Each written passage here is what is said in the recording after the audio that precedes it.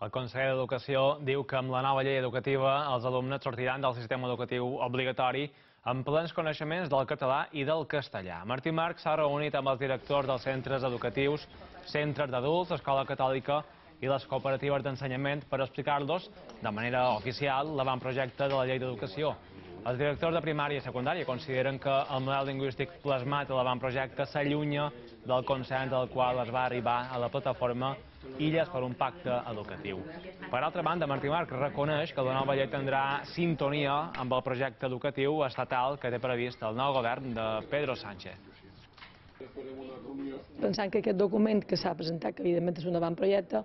no és fidel totalment a el que se va eh, aprovar després de molt de debat i de molt de consens, tant a Illes per un pacte com en el Consell Escolar de Illes Balears. El català és una llengua fonamental de, de l'ensenyament i l'aprenentatge, que volem que cada us estudiants quan surtin del sistema escolar obligatori sàpiguen català i castellà